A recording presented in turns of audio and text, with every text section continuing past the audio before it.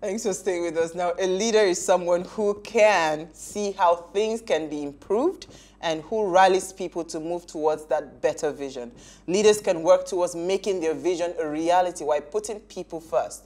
Just being able to motivate people isn't enough, or occupying an office doesn't make you a leader. Leaders need to be empathetic and connect with the people to be successful. Now, coming off of the back of this definition, how should we elect um, our leaders as we move towards 2023? What are the qualities of our leaders that we must look out for? What qualities must they possess? You know, for the current realities now, this is in emphasizing the current realities of Nigeria to move our nation forward. What kind of qualities should these leaders possess? Now, please let us hear what you have to say. Remember, you can join this conversation. Tweet at us at Wayshow Africa 1 with the hashtag Wayshow or send us an SMS or WhatsApp to 081 803 663. Okay, so Lami, I'm going to bring in um, Taiwo Akinlami very soon, right? So um, I just wanted to hear your thoughts because you know what? 2015, we were all about, oh, this man's personality, he has a he has a mantra, no to corruption and all of that. So I was part of them, so I won't put my I won't um, excuse myself. We were part of the people that were carried away by, oh no, he will be the man for the job to do the job and all of that. So I am just wondering, you know, um, when I heard this saying that leaders are it's not about the office but the person, I thought about it again I said, hmm, this is very interesting. Is it possible that we have been electing leaders based on um, certain qualities that we shouldn't have been, you know, um, um, electing them on? You know, have we been making that mistake all these years? And if at all we have been making that mistake, how can we even correct it? But in your assessment, right, what is leadership to you? Is it the office or the person? And if it's the person, what are the kind of qualities that we should be looking out for in terms of who to elect as leaders in, in this our current Nigeria? Uwa, I don't know where you want me to start. Which question do you want me to answer? Just start from anywhere. I think I think we've had this discussion before, and I remember saying that leaders in Nigeria, we don't build leaders; they just emerge. Hmm. You know, there's no tutelage, there's no pathway for leadership. We don't even in schools. I don't think that the, a lot of school concentrate on teaching what leadership is. So, you know, part of the political offices are compensations. You find out, oh, Omowani has been in the party and all that. Give him this ticket and all that. So just they see it more as a reward system, mm-hmm. not actually as a vision you know, they don't they don't appoint people or you know uh, nominate people who actually have vision. And another problem we have in Nigeria is we are always left with rather no choice. Hmm. You know, they just give you two visionless people. How do you want to choose from the you know ah. two visionless people? Mm-hmm. So I think what we should be looking out for, and, and I'm particularly scared about 2023 because for me, I have not seen anybody that I think I would endorse coming out to say, I want to take, you know, a risk with this uh, position. So it's all going to go back to, the, you know, the recycled leaders. So I'm really, really scared because I don't know what would happen in 2023. Do I see us, because we are not doing anything as far as I'm concerned. That's my personal opinion. I'm not sure we're doing, especially the youth. I don't. I'm not sure we're doing enough to see that because 2023 is just around the corner. Mm. In another two years, yes, we'll be at the election cycle. You know, would have probably elected, you know, the president by this time, two years' time. So what are we doing about it? We need to look out for somebody who is dispassionate. Because for me, I think most of our leaders are completely disconnected from humanity. Hmm. How would you, how would you in your heart assuming that you are you are human, how would you, in your heart, appropriate money that is meant for over 20 million people in your state? Mm-hmm. Cut away that money that is appropriated for public um, health, for healthcare. You don't pay teachers, you don't pay healthcare workers, and you cut away that money, ship it abroad, go and buy a very big house and lock it, and come back to Nigeria do you think that person is sane? Hmm. Why, why do you need that for? So I think a number of our leaders are completely disconnected from humanity. So I, what I have been trying to question, the question I've always been, you know, asking myself is, is it a black thing? Are we just wicked people? Are we just completely dehumanized? Or is it a race thing? Is it a Nigerian thing? Hmm. Or what happens when they get there? Does is this is there something that radically changes them? You know, you know, it's interesting what you are saying. You know, it just brings to my mind, you know, um, um, um, late Nelson Mandela, right? Do you know how scary this picture that you have painted, you know, is looking in my mind? It means that we do not even, we've never had, maybe just very few, but we've never had real leaders. Because if you are a leader, right, a leader, you must be a people person. To be named, yes, you must be extremely compassionate. It's been missing for a very long time. It's been missing for a very long time. You must be a very compassionate person where you put other people first. You make sure that, you know what, you're thinking about the next person, right? You're thinking about the next person. That's for me, that's leadership. I suppose Problem just you. Solving. Yes, I suppose you're just saying that you have occupied a, uh, a seat and that's what makes you a leader. No. So the fact that you're sitting on the chair of the president does not make you a leader, right? You're just occupying a position. And this is what we have seen going all over and over again, happening countless times. You know, so I am just thinking in my head, right? So where do we even start to, um, where do we even start from? You know, where do we start from, you know, in terms of who we need to start to elect? Because 2023, like you rightly said, I haven't even seen a leader. I have seen people that want to occupy office. Do you understand? But I haven't seen a leader. I don't know if we have um, Taiwo Akinlami there yet. Um, I'm here. Okay, so Taiwo, Taiwo Akinlami is a social development lawyer co-founder, Power Parenting Company, um, parents' rights to social protection advocate and publisher. Taiwo Akinlami is arguably Africa's foremost child pro uh, protection thinker and practitioner, being the founder and the principal of Taiwo Akinlami Child Protection Academy. His unique philosophy and teachings on family strengthening, um, child protection, and related matters have been well received in over 133 countries. Akinlami is also a prolific writer, poet, and blogger, and he's joined us live from Dallas. Thank you so much, Taiwo Akinlami, for joining us. Taiwo, are you there? I'm here. Okay, all right. So Taiwo. All right, all right. So you heard, did you, I mean, I don't know how much of the, the banter Lami and I had that you heard. Um,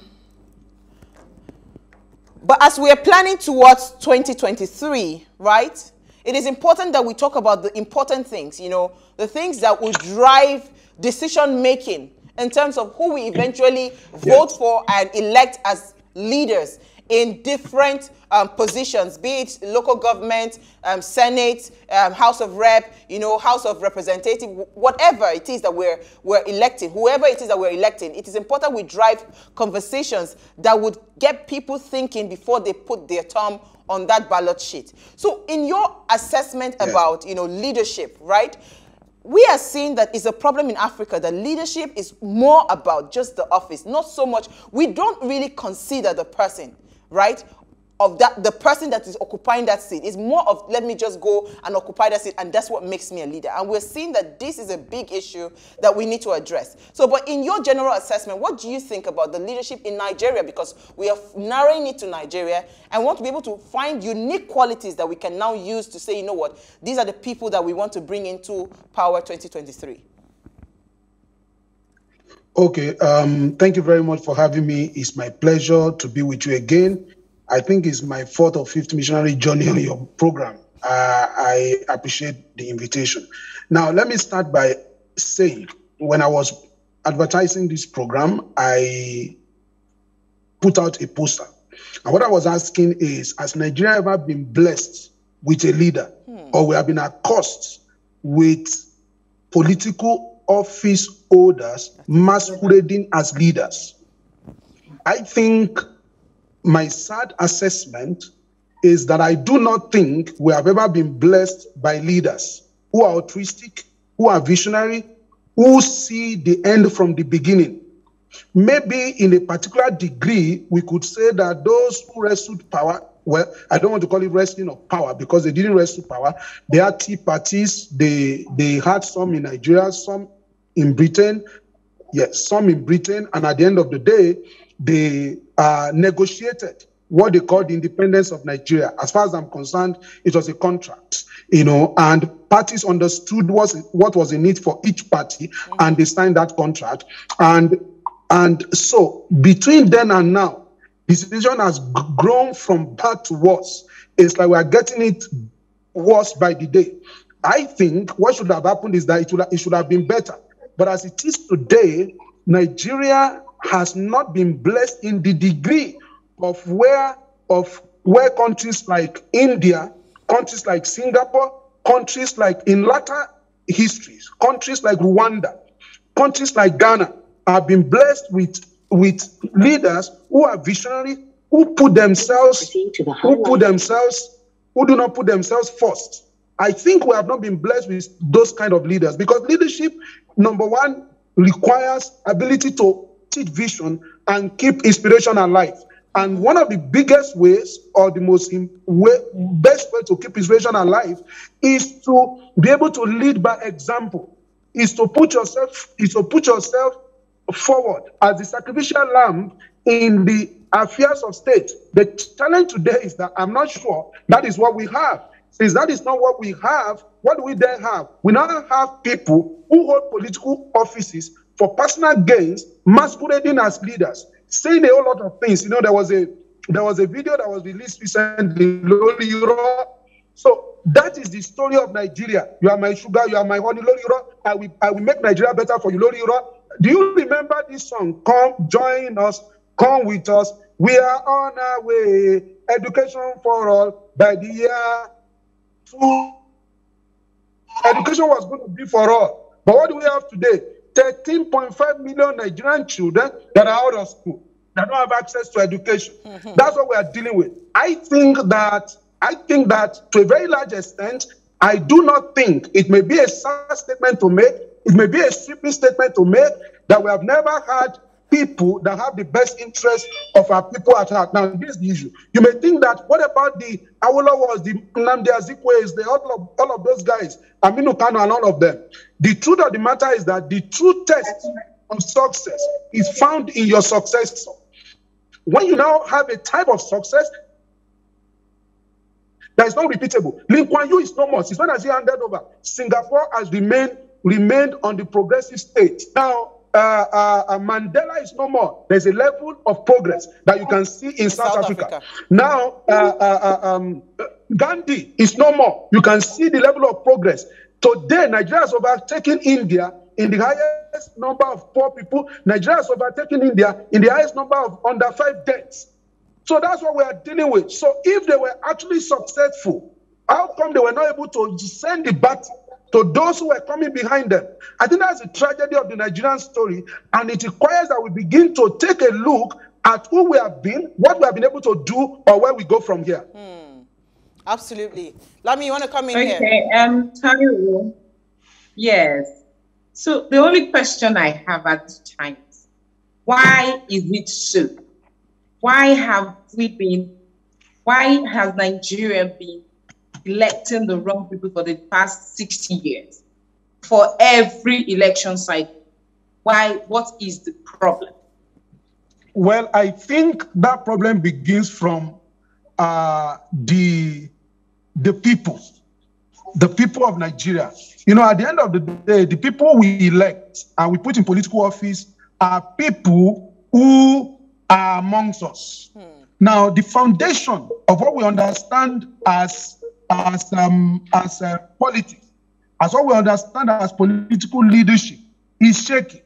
Why is it shaky? It is because from the beginning there has been a problem with interpretation of what it means to be, a, a leader. Yeah. What it means to hold political office mm-hmm. for who? Now we have failed to understand that more important than, than the political office is why it is being held, for who being held, and and and um, what do you have in mind as legacy when you hold such office? That's the major problem that we are dealing with. So until we go back to the drawing board, we begin to we begin to embark on the level of political education. Let me give you a quick example. First World War was headed by by by by a, a country called Germany.